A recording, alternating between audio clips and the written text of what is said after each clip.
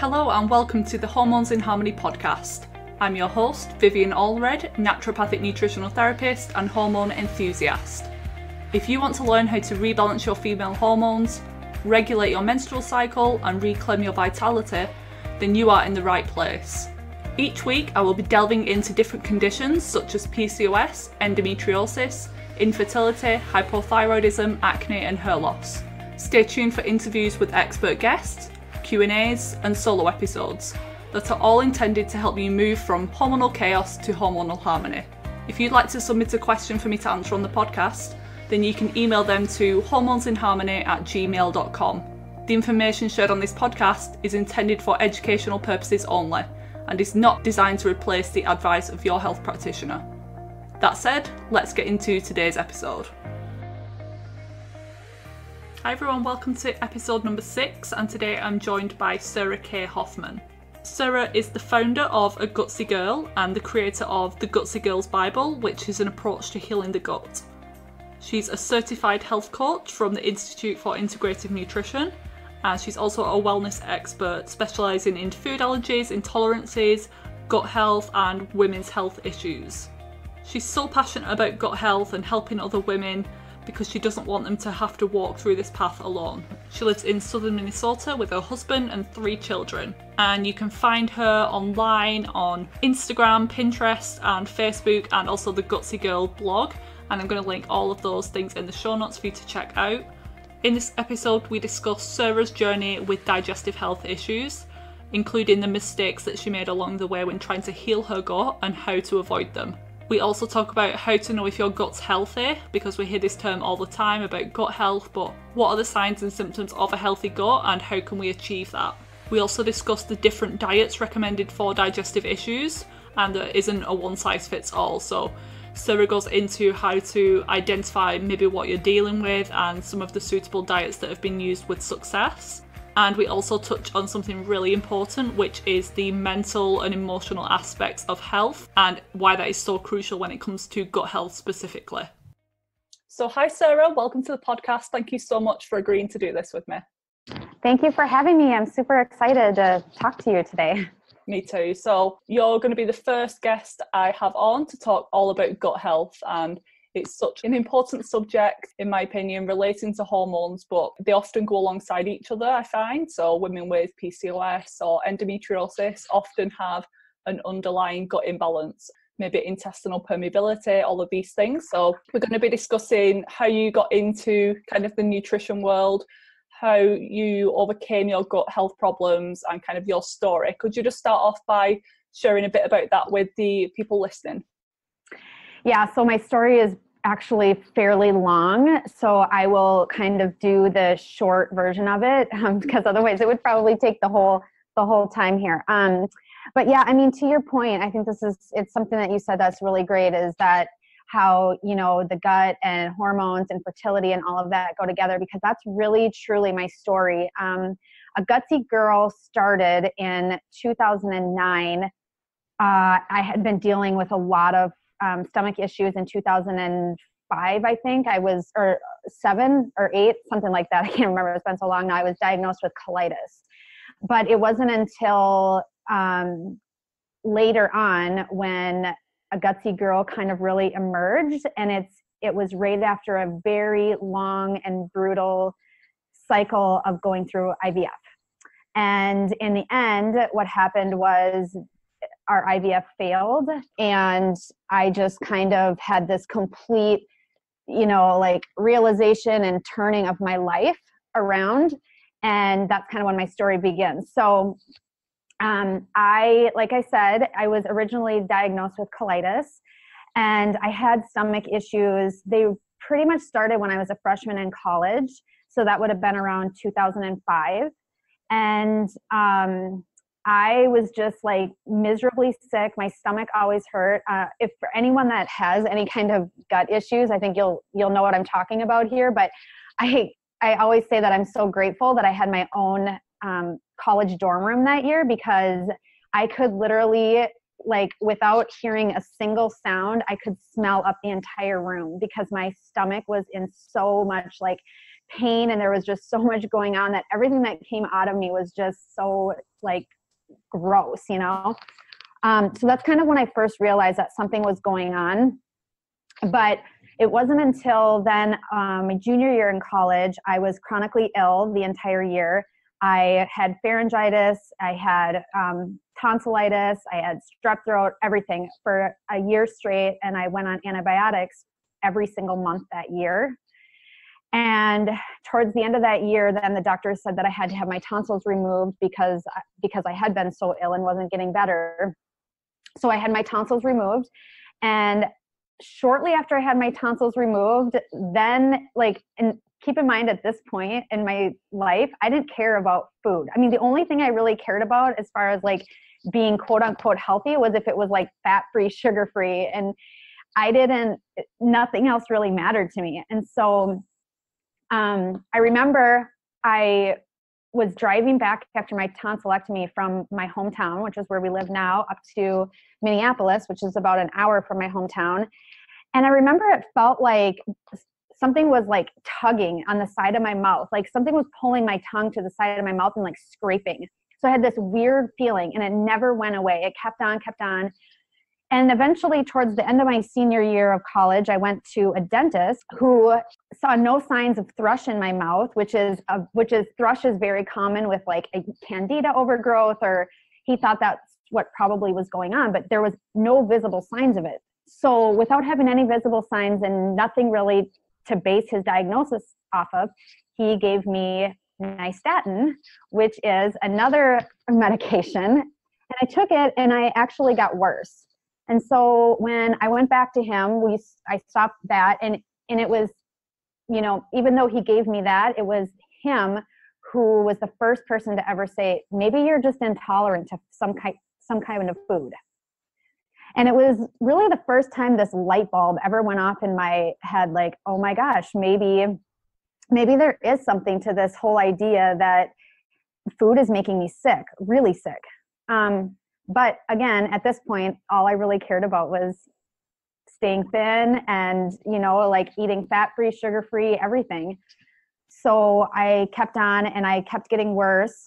Um, and i just kept on this path until i finally had my first colonoscopy and endoscopy in uh, 2000 like i said at the beginning like i think it was like 2007 2008 and i was diagnosed with colitis and after I was diagnosed with colitis, they gave me Canasa, which is a suppository.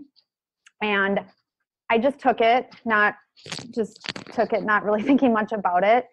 And it didn't make me better. In fact, it made me worse.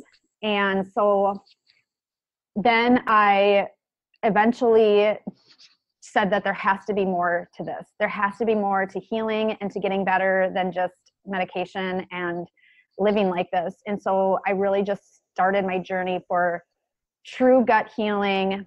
And the weird thing is, by that point, um, I had done so much more damage because of all of the years of the medications and the antibiotics and the um, the yo-yo dieting and the overworking out and the so I didn't know it at that time, but I would be I would start a journey basically towards this like real gut healing, but it would involve a lot of heartache with the infertility and with getting diagnosed with SIBO and everything else.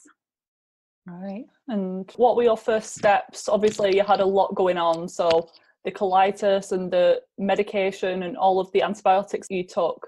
What were the first steps? It can be quite overwhelming. Where did totally. you start off with? Did you start off with the diet or did you go yeah. straight into testing, other functional testing, things like that? Well, at that point, I thought that my testing was done. I thought, okay, I have colitis. This is what I'm working with. And so, what I did is I started working with a nutritionist. And working with her, it was great. You know, I started, I did start to learn stuff, but the problem was I actually didn't feel any better. So, the way that she had me eating was very you know, quote unquote clean. I was eating a lot of fruits and vegetables and grains and um, you know, I, I cut out like, you know, dairy, wheat, gluten, all the like normal suspecting things, but I still r- just really wasn't making that much progress. And one day while I was working with her, I stumbled upon the GAPS diet. I'm not sure if you're familiar with that. Yep. Yeah, most people are, but it stands for gut and psychology syndrome. And it basically was opposite, everything opposite of what we had been doing. It's like really emphasizes that, you know, no grains, no gluten, obviously, um, a lot more meat, a lot more fat, a lot more um, like very careful with like fruits and vegetables and things like that. And so, oh, and also it really focuses a lot on bone broth. And I just remember the night before I started that, I just told myself, like, we're just going to try this and see because I knew that nothing would change if nothing would change. And this was something that was complete opposite of what I like believed and thought to believe and thought was healthy my entire life. So it wasn't but a week later and pretty much seemingly overnight all my symptoms had gone away and that's when we started to realize maybe there was something more than the colitis going on maybe the approach for he- that's it's really when i started to believe that um, maybe the approach for healing the gut is so individual it's so every person is so different and the way that we heal is not like there's not there's no such thing as a one size fits all and at, it was at that point then that I decided to go back to school as well to study so that I could help myself, but then ultimately that I would be able to help other women on their journeys at some point. Yeah, the GAPS diet is really restrictive and it is like a therapeutic diet. So, how long did you kind of do that for? Was it the like a couple of months or was it a good few years that you were on that? So, Dr. Natasha says that like mild cases, you know, like you could follow it for like maybe a couple months and then like pretty severe cases, I think it's like a year to 3 years or something like that. Yeah, my case was, you know, fairly fairly complex. However, in hindsight, if I had to do it again and when I talk about this, I'm always like very careful to talk about the fact that I don't believe that I should have done it for as long as I did because I do think that it contributed to more of my hormonal problems because I stayed for such a long time on, you know, a lot of like barely any carbohydrates and I was still working out. Um, so I probably stayed on it for at least a good six, seven months, like a very, very like, you know, there's several stages to it. Um, and I stayed within the first few stages for several months so but i mean you know so like on the one hand i my stomach felt so great and i felt like you know i never had before in my entire life. It was like i had gotten this new lease on life. But the problem was it i stayed on it too long and i didn't know how to reintroduce things and i didn't do that appropriately. So the answer to that really is like if you have to do the gaps diet just be very cautious and very like careful with how long you stay in those intro phases. Yeah, I was going to ask you, like, what are the kind of mistakes that you've made along the way? Definitely with the GAPS diet, it can be quite restrictive, like I said, and then the more you restrict, the harder it is to reintroduce things, especially if you do it for a long period of time. Are there other kind of mistakes that you've made along the way in your health journey that you want people to kind of avoid? I've made so many mistakes, and that's part, that's partly like why this is like my mission is because I don't want people to have to take. I don't want it to take ten years like it took me, you know, to go from awfully miserable to like completely incredible where I'm at today. Um, another really big mistake that I made and that I think people make in general is they get so excited about like the latest diet or trend or supplement and they're trying to do so many and i did the same thing. I, I, tried to do so many things at once that if something didn't work i didn't really know what it was. And on the flip side if something did work i also didn't really know what it was. Um, i'm working on a blog post right now just really trying to help people with like a minimalist style and supplements because i know that everybody out there you know like thinks you have to take like i mean at one point I felt like I was an entire medicine cabinet filled with supplements and like it was a part-time job to keep up with this mm-hmm. stuff. And I look back and I'm like, but was that really necessary? Like I can honestly tell you today, there's like a few that I'm like religious to. And I, I know like in the beginning of the healing journey, you probably do need more than that. I mean, obviously you should work with your doctor on that, but but I it's just I think it was too much and it became too much. And when something becomes too much, we're much less likely to stick with it. And that's what happened to me. So that's one thing. Um, I also think, you know, just like getting caught up in like what the latest diet or the gut health trend is because it just doesn't work for everyone. And so, like, a perfect example of that would be probiotics.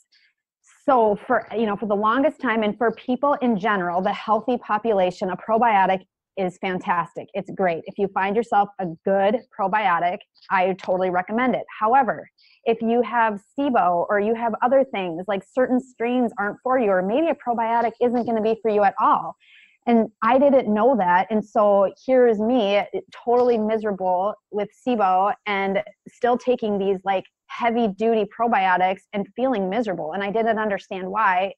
And that's why, is because not everything that's like quote unquote gut healthy is gut healthy for you. Um, so that's another big mistake I made. Um, and then I think the final thing that I just caution women on in particular is really trying to n- not restrict like try to like push your limits like if something says that you can like for instance in the low FODMAP diet if something says you could have up to 10 nuts but you can't have 20 then i think you should have 10 and you should not have 20 you should not have none because you think that's going to be better. It's not. It really is not and it sets you up for this vicious cycle. Meanwhile i also think that i worked out way too much during my healing journey and i would caution that for any woman that i work with. I i hear women i work with women all the time or they send me messages you know that they're they can't figure out why their stomach is so miserable and they they eat right and they work out 5 to 6 days a week hard and i'm like that could probably be it because i can tell you that every single time i started training for a hard race or i mean even just like doing anything intense 5 6 days a week i was miserable and I learned my lesson over and over and over until finally this past year I just gave gave into it. And it's been the most incredible thing. Yeah, I think I've probably uh, made the same exact same mistakes as you.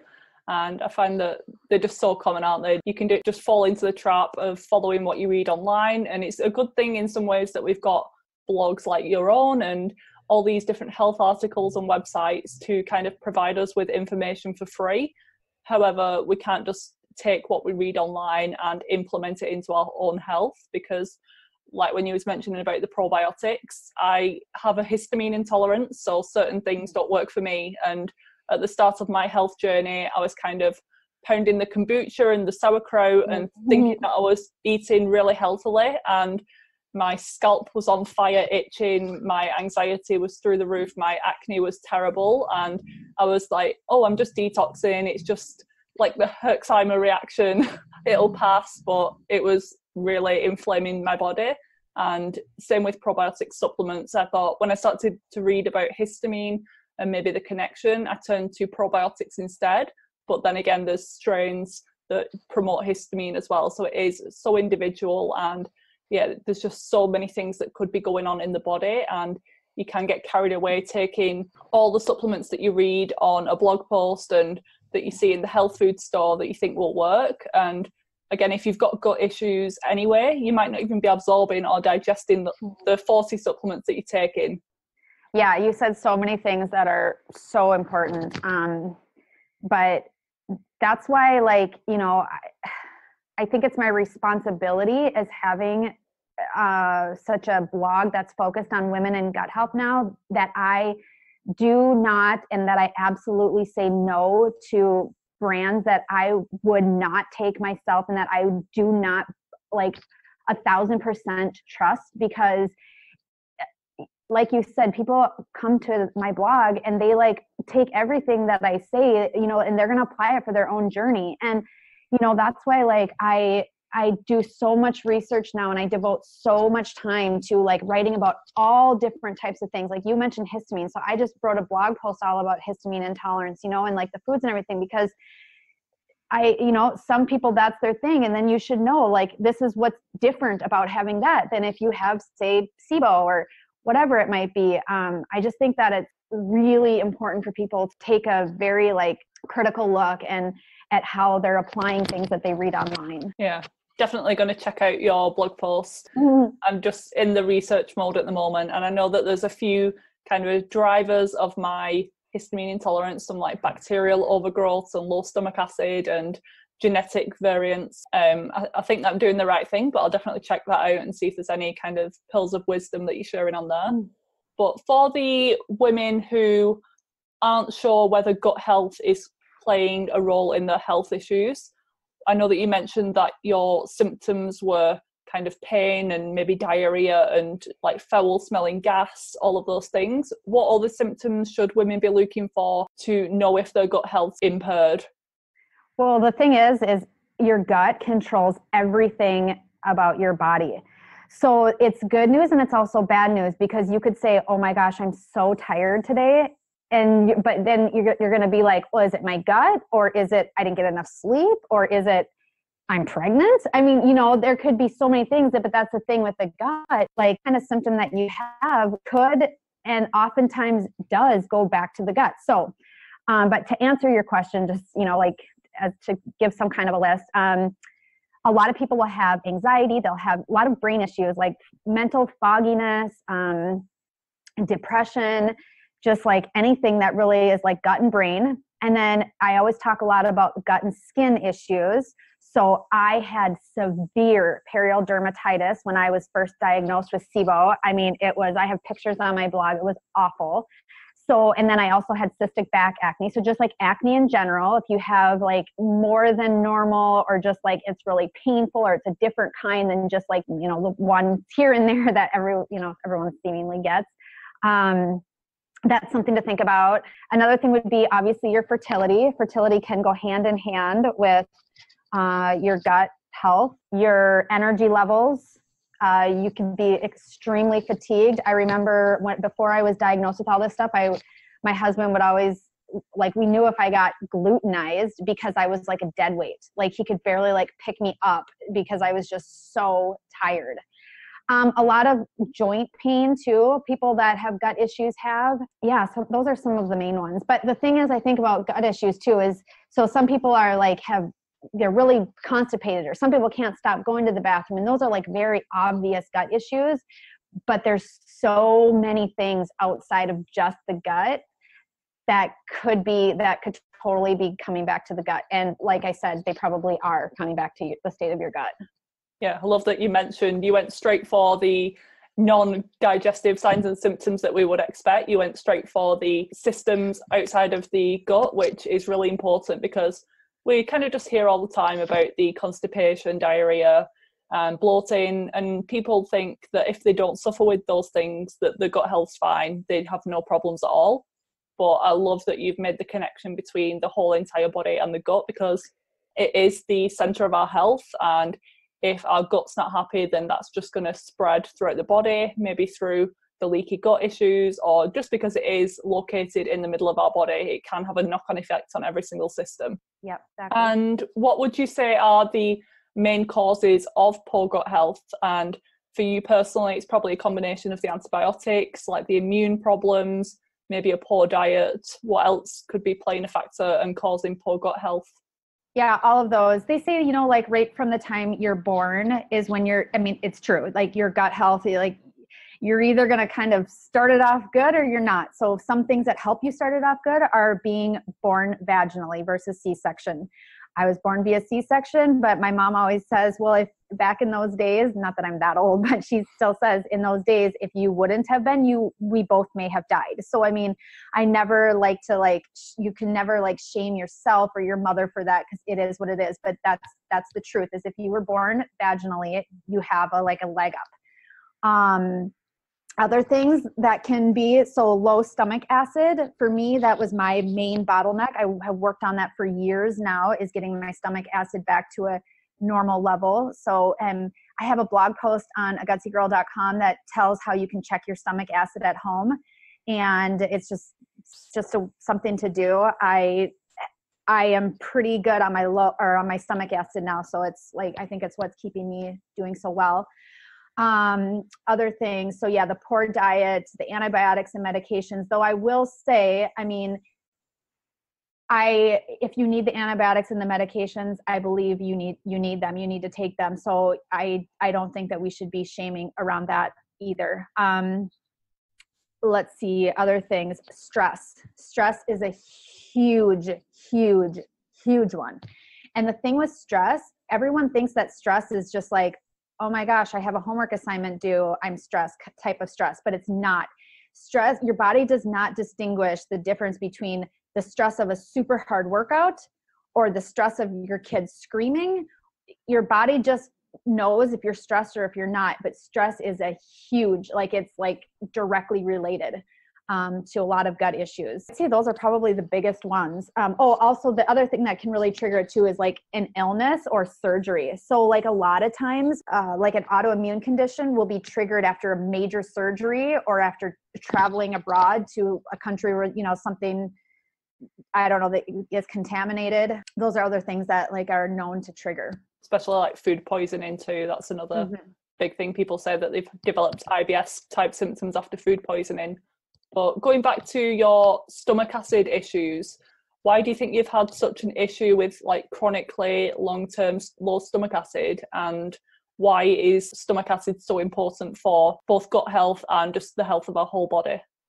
Well, stomach acid helps you break down all your food. So like you you need to have enough stomach acid, namely with high protein meals, which is why when you do the at-home stomach um, acid test with HCl pills, you can only do it with protein um, but it just really helps break everything down so that your your body is able to just like easily process food you know goes in and goes out um, for me personally i don't think you can ever really know why you have low stomach acid but we have basically come to the conclusion that years of under eating and over exercising led to super low stomach acid um, it your body just like at some point it just like starts to deplete it all. The other thing that um, contributes to low stomach acid is as you age.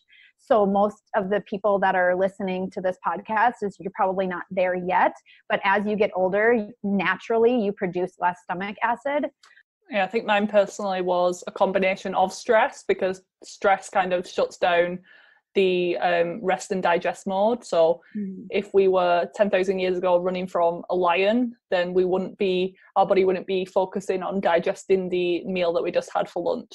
So right. it is kind of that evolutionary process that we've kind of not got rid of yet. And it is, uh, stomach acid is really important to build, uh, digest those building blocks that we need to create our hormones to make our liver function to create neurotransmitters and if food's just sitting in your stomach and not being broken down effectively then that's also food for bacteria to kind of thrive on and produce and all this gas that can be leading to your digestive symptoms yeah because i mean we do we want bacteria you know like uh, uh, bacteria it's, it's not the problem that you have like quote unquote good or bad bacteria. It's where it's at how much it's at and how like if there's too much in the small intestine that creates a lot of problems. If there's not enough somewhere that creates problems. It's you know and then yeah and then um you had mentioned about the whole fight fight or flight thing. You know i've i've noticed myself and i've seen it with a lot of women that i have worked with and talked to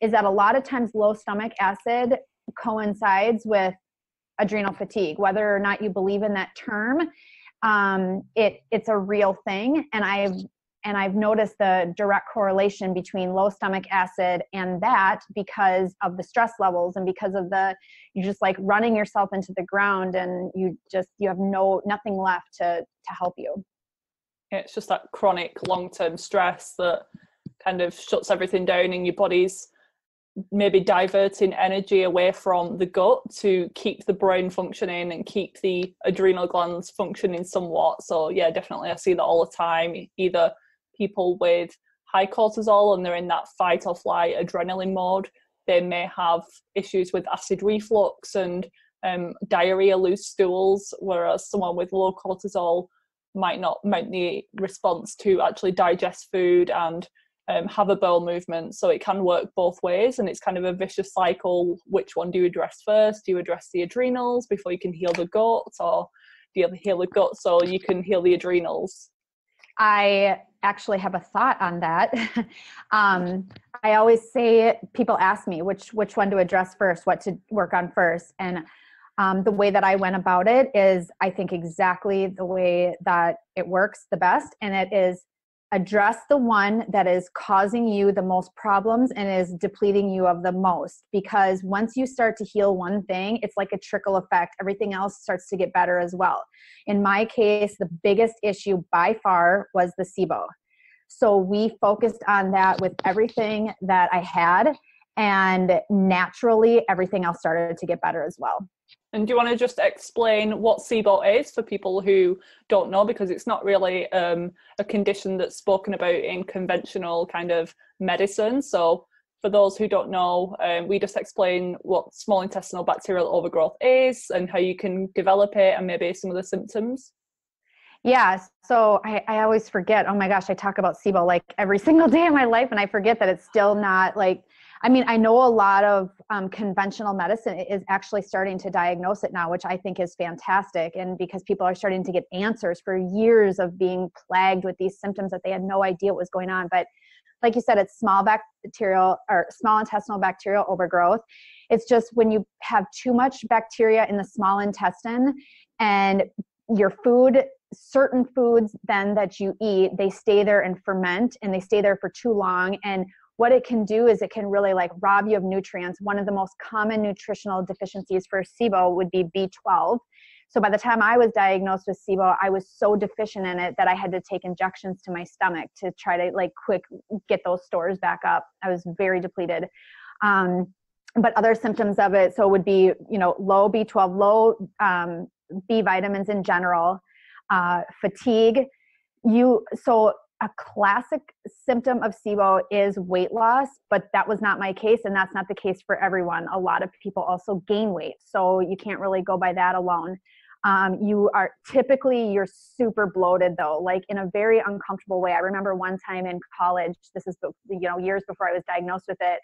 I remember just complaining about how bloated I was, and I'd have my college roommates say, "Oh my gosh, I know what that's like," because you know when you're gonna get your period, it's the same mm-hmm. thing. I was like, "It is not the same thing." I mean, this is like it's it's a it's not the same feeling it's completely different and you would definitely know the difference between them it is like an awful like i always say it's like gremlins pushing against your pants because it's just so awful. Um, and there's a blog post on a gutsy girl called um, "Unbutton Those Pants" because it addresses that time of my life when I was just in so much misery. But SIBO also people that have it, they like I mentioned, they can't um, tolerate a classification of foods called low FOD or called FODMAP foods.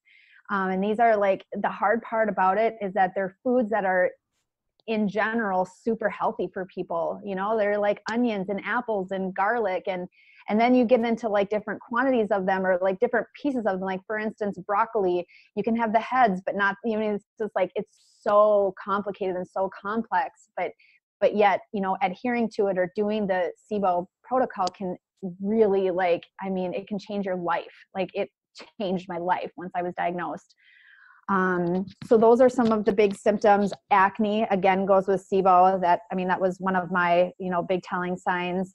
Um, yeah, those are rashes in general go along with SIBO a lot of the times. Oh, just like weird things can. I mean, like pretty much anything can can go along with SIBO. Then the other thing is about SIBO. Uh, the way that you're diagnosed with it is with a breath test. Um, I have a whole tutorial on my site too of like how you do that and what that process is like. It's very easy, but you know there is it is a process. It's a kind of a 24 hour time time period of, of a process. Um, and then you're you know you're diagnosed with either methane dominant SIBO or hydrogen dominant SIBO or both. I have had all of them, and so and then it gets into once you're diagnosed with one of those it gets into like there is kind of different healing protocols for them. I mean a lot of it's the same but some of it's different. There's different antibiotics or herbals that can be used. And um, it's it's a very i think it's a very very complex uh, intestinal overgrowth that is uh, hard for people to stay in remission from. And most people relapse and some a lot of people like never even get out of it uh, and it's super complex but yet my prediction is that the the amount of people that are going to be diagnosed with it in the next few years is just going to skyrocket yeah and i think i agree it is getting better slightly over here with the diagnosis of SIBO. Certain gastroenterologists are aware of it. However, they don't usually promote the antibiotics or the herbal antibiotics even. They kind of just I remember going to a gastroenterologist myself and I took my private SIBO test results and he kind of just um, he was aware of the condition but he said it's normal for everyone to have bacteria in the small intestines and it was normal to be bloated after eating your meals even when i explained that i've never dealt with that in my life. It was only a recent thing and i agree that we should have a certain degree of bacteria in the small intestine but it shouldn't be anywhere near like it is in the large intestine. But oh, yeah that is so hard because you know so here's the deal. I had it so bad that i we tried i worked with a um, integrative practitioner at the institute for functional medicine in california and we tried for about i don't know it was like six months or a year to go the herbal route. That's what i really wanted um, but it just was not working. And he's an integrative uh, practitioner and he said you're going to need the antibiotic and i did and the thing is with the I, I don't think we need to be you know if, if you're skeptical or afraid of antibiotics i i do think that this one's a little bit less worrisome for people because of the fact that it's like pretty localized to it doesn't like affect your entire um, immune system. Like a lot of antibiotics just pretty localized to the small intestine. So there's that. But so that's why i feel like it's it's a little bit unfortunate that we're hesitant to take that antibiotic um, and i'm i'm always going to be a very strong advocate of it if the herb, herbal route doesn't work just because it's it changed my life. And a lot of people do want to kind of push through and keep trying to go the natural route just so they can avoid the antibiotics and conventional medication but I think that's where people can kind of fall down in the fact that they are avoiding a medication that's really beneficial and it is it does act locally so it doesn't have all the other side effects of conventional treatments but I think we need to stay open-minded and ha- kind of have a foot in both camps of the natural and conventional things because I, I say all the time if I was to get knocked down by a car then I would want to be taken to A&E in a hospital not to a herbalist Totally. Yeah. yeah. I know it's so true. And and that's why like I, you know, I say too, I I'm always talking about how you can't diet harder. You know, so like there's a there's a time and a place for dieting and there's a time and a place for herbs and for medications and for oh by the way, your lifestyle and how much you sleep and your stress and your water. I mean, there's a time and a place for everything and if we don't look at things super holistically and like incorporate things where and when they're appropriate it's really hard to heal for the long term. Yeah definitely i agree on that. So back to kind of the diet approach that you like to take with gut healing. You've mentioned the gaps protocol and the low fodmap diet. Are there any other kind of food strategies that you like to recommend? Are there certain things that you recommend avoiding completely? I mean, I have literally done and studied every single diet on the planet at this point. I mean, I've done everything from keto and gaps and specific carbohydrate diet to like a ton of carbohydrates and low fat. I mean, you name it, I've done it. At the Institute for Integrative Nutrition, we study a hundred different dietary theories, like even things like chickenitarian, where people only eat chicken. Like it's just, I I I am so well versed in all of them and I will tell you exactly the diet that I follow today. It is called No Diet. and it's been it's truly it's truly changed my life. Um, however, I don't believe in that when you're first starting to heal because I do think you need to be pretty careful with the things that you eat and the the what you're trying to like replenish your body and to be able to like absorb. Um, so back in the day, you know, I, I did a lot of gaps, I did a lot of meat, a lot of fat. I still believe in a lot of fat However, these days I eat a lot less meat.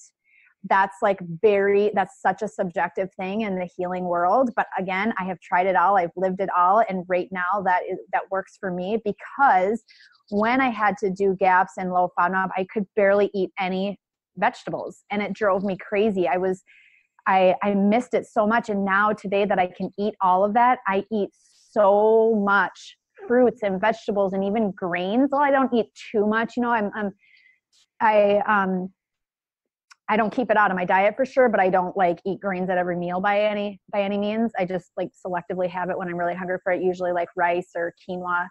Um, but I I lean more towards the vegetarian life now. I things that I don't think in general are good for us to be consuming every single day all the time would be gluten and dairy and um, non-organic soy. I love tofu. I love miso but i always eat it um, organic. Um, but just in general i think everyone as far as a diet is concerned i think it's it it plays a big part in the initial part of your journey but you need to know the diet that's exactly right for you because there is not one size fits all. In fact even if there is one diet like say let's say the paleo diet is kind of the standard diet for initial gut healing there are going to be foods on the paleo diet that you can have that i should not have. If you have if i have sibo and you don't then there are certain foods that i can't have on paleo but you can. So it gets like that i think it gets that specific. And do you think it's possible for people on a vegan or vegetarian diet to heal the gut effectively and get rid of kind of bacterial infections or SIBO or do you think that the most effective diets are the GAPS, paleo, and SCD diets that do contain quite a lot of meat? Well, I actually wrote a post on that called Can You Heal Your Gut on a Vegetarian Diet? Have you read it? No, not yet. Oh, yes, I did. Um, because uh, last summer fall, last fall, I heard Alicia Silverstone. I don't know if you know her because she's an American famous actress. I heard her speak and she has the kind diet and it's all it's she's vegan and it's all about that and I just I love her. I loved her take. I loved everything that she said about it. And so, you know, I just really started to explore this idea, can you heal your gut on a vegetarian diet? Um, because it didn't work for me initially.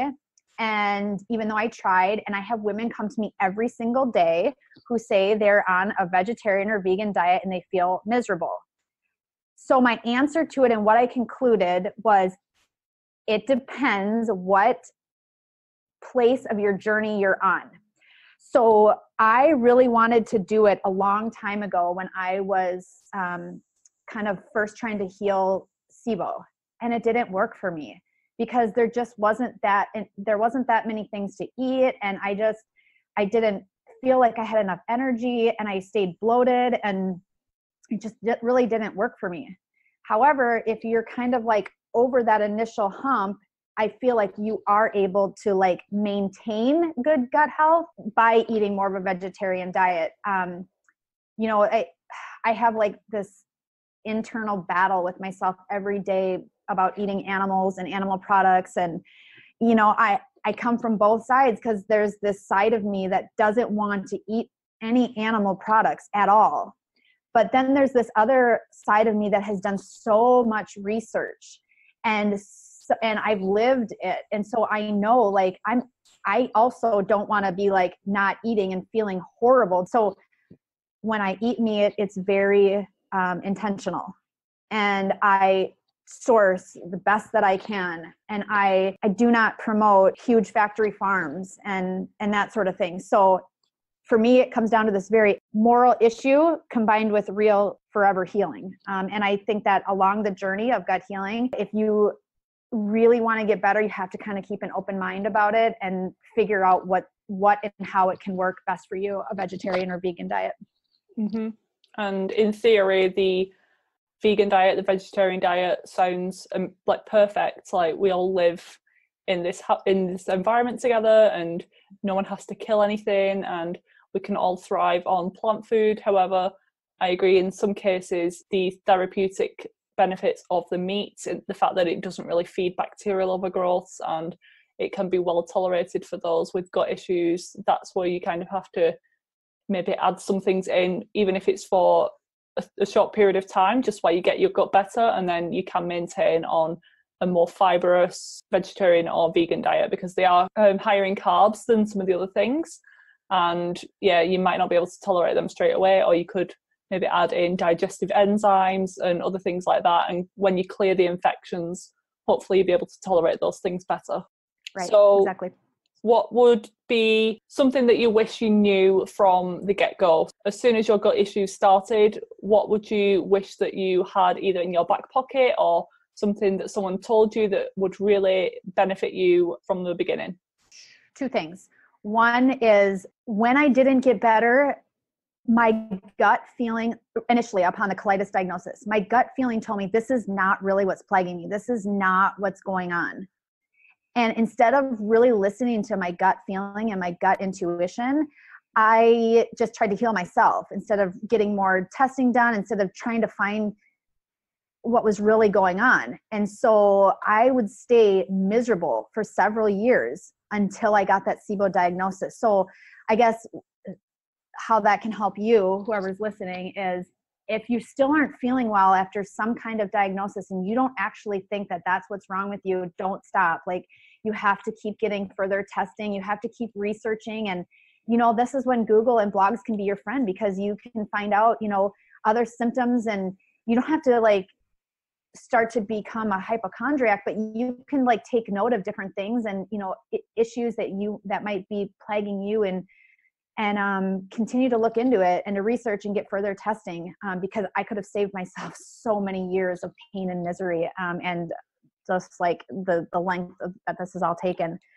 Um, and then the other thing I would say, honestly, I wish I I wish I had known this, or I wish I did know it. I just fought it for so long, but I wish I would have considered the lifestyle and mental aspect of this whole thing to be more of a serious thing from the beginning. It took me until this last year in a massive, like, life changing event to finally like give in to this idea that I'm never going to heal my gut until I heal my life. And I had to, for me, that meant I had to like start talking to a therapist. You know, I had to make amends with people that I had hurt. I had to give up a lot of like clients and work stuff in order to make the extra space to be able to breathe and to figure out what's important to me. And i think that that's something that you know you, you can't get in the medication you can't get in a diet book you can't get on a blog you can't get anywhere. But it's something that you have to absolutely start working on from the second you know that you're sick and something's wrong. I was just nodding all the way through that because i totally agree in the fact that mental, emotional, psychological aspects are so important and they're often either overlooked completely or left till the very last thing that people address and only then do they start to see like amazing results and I've experienced it myself. I was eating the best diet in the world, taking all the supplements, doing all the tests. I knew what was wrong, but until I addressed the kind of mental aspects and negative beliefs and thought patterns that I, was having and speaking to a therapist that that's when my symptoms start really started to turn around and I really saw some difference. So I'm so glad that you mentioned that. It is so important. And I think, you know, there's this stigma that like we can't like if we're, you know, caught talking to a therapist, we there must be something like massive going on in our lives. And and it might be but it also might not be. It might be just something as simple as you just want someone to have an outlet that's not going to give you a positive or negative bias in your life you know? You just need like just that that person you know? And i there's no problem with with it and i i can't recommend it enough. Like it's it's seriously probably has absolutely changed my life. Yeah me too. And even sometimes you don't want to maybe bother friends or families or put like negative energy onto them. So it's kind of having someone who's not in the situation just to talk to and just release your emotions to. And definitely if something really bad's happened in your past or in your childhood then that really does need something to work through. But it could just be maybe you don't think that you could get better. Maybe you've like myself, I felt really restricted and excluded from my um, teenage years because I had all these health issues. So I was kind of at home all the time, and that really uh, went into my psyche, really, in the fact that I was different, things like that. So it could just be little things you might not think that they're um, significant, but they could definitely be playing a role. And how long does it usually take for people to heal the guts completely? So if they implement the diet if they find out what's wrong if they do the mental and emotional work how long can they expect to see differences in? So if you do all of those things which is what i truly did this last year i think that within like six months you you can be like like i have been without zero issues. I'm going on a year now.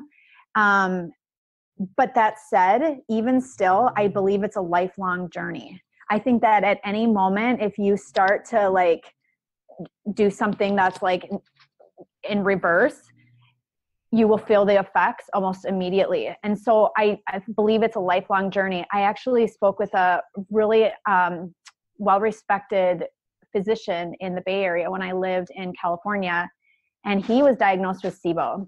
And he he claims that there's no well there isn't like there's no cure for it there's no and so even even when we're feeling well it's like there's there's nothing that says that we can't relapse so the thing is, I tell myself, I play these mind games every single day and I say, You're healed, you're well, your SIBO's gone. And I think that's very, very, very important that you continue to tell yourself that that's how long, you know, and you you will keep getting better.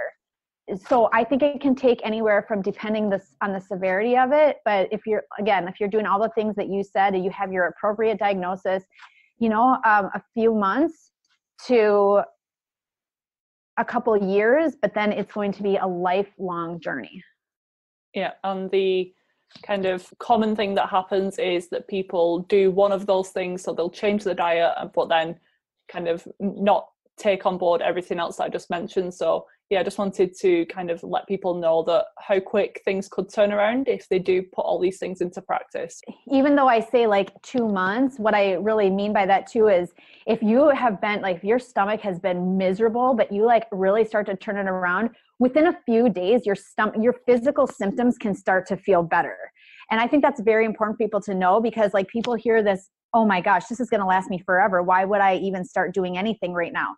But the reality is that, like, literally, when I started doing gaps within two days, and I've documented this on, an old blogs, I started to feel better. I was like, this is like a miracle. So you get, you can get immediate results once you know what's wrong and when you implement all the things. Yeah, definitely agree. And the body is really resilient. So when you find out what's going on and you provide it with the things that it needs and the building blocks to kind of repair and get better, then it can definitely turn around really quickly. It's really amazing. So I think that's a good time to kind of wrap things up with the interview. This has been so helpful and like I mentioned, you're the first person we've had talking about gut health. I don't think this is going to be the last I'm going to be talking about this because the conversation could go on forever. But just to wrap up, there's just a few questions I want to ask you personally what is the one herb, supplement, or nutrient that you just cannot live without? L-glutamine. I love L-glutamine so much. I have been taking it for years now. Um, I I just I love it. I I do believe that it really helps repair the gut lining, um, but it's also good for like muscle repair, girls. So it's got like so many different things that's really great about it.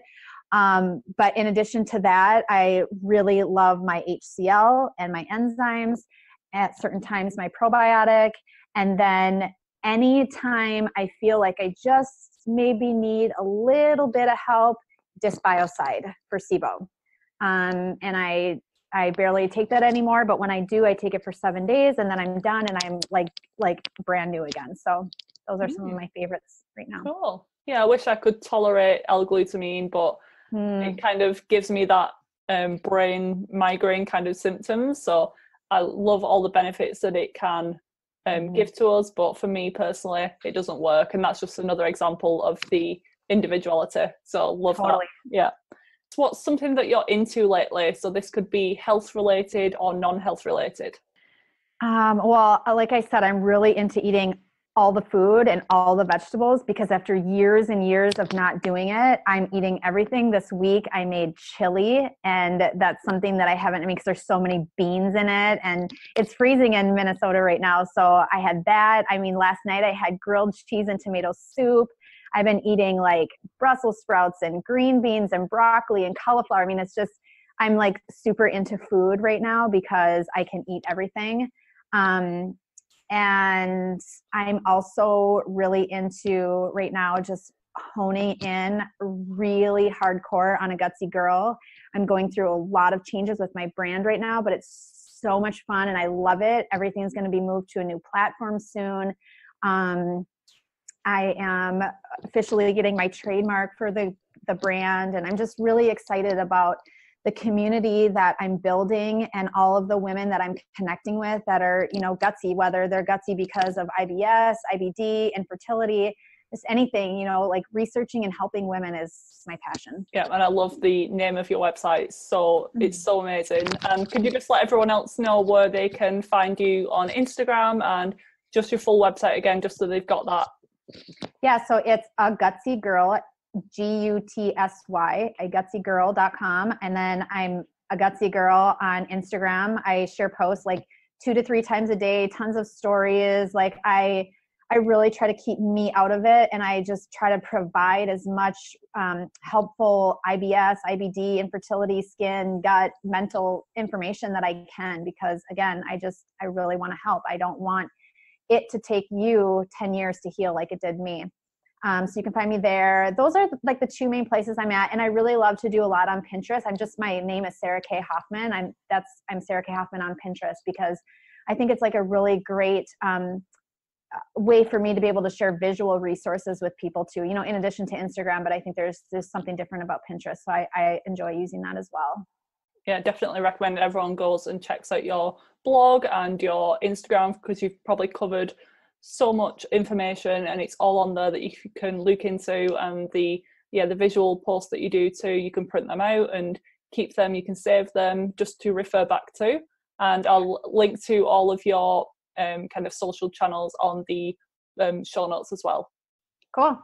Lastly what's one piece of advice that you'd like everyone listening to take away from this whole entire interview? The best piece of advice i think is that it sounds so cliche, but you can just never give up. Like you can never give up whether it's your health, whether it's your business, whether it's like anything that is important to you, like never ever give up on the idea around it. It's taken me 10 years to have a gutsy girl become what it is now. It's taken me 10 years to heal my gut. Like I don't hope I don't wish that for anybody, but the point is that like had I given up at any any point along this road, I would not be like as healthy and happy as I am today again i know that that people say that all the time do not give up but like i i truly feel like i'm like the face of that. You know one thing that we didn't even get into today is my whole infertility story. You know and i after going through like multiple inseminations and ivf and ending up in the emergency room and you know i could have given up on the whole idea of ever having children but instead my husband and i like turned this awful thing into we adopted three children from the foster care system and i have these three beautiful amazing little you know little babies that we love and it's just that was that's i'm just so grateful that i never gave up on that either so. Yeah i'd love for you to come back on the podcast maybe in the future and discuss all of that your hormone journey.